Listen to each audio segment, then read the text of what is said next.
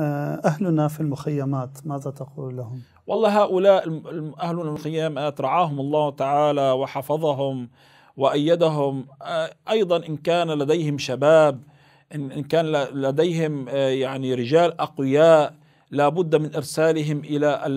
أرض المعارك إلى حيث الجبهات إلى أماكن التدريب إلى أماكن التعليم هناك على أرض الشام لا أن يبقوا هكذا مع القواعد مع النساء مع الشيوخ لا هذا لا يعذرون بذلك. وأن لا بد لهم من نقلة نوعية من القعود مرحلة القعود إلى مرحلة الرباط ومرحلة العمل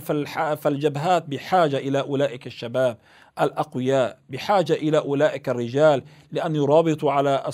الثغور وأن يدافعوا عن الأهالي وأن يدافعوا عن الأراضي وأن يدافعوا عن مقدساتنا ومساجدنا وحرماتنا.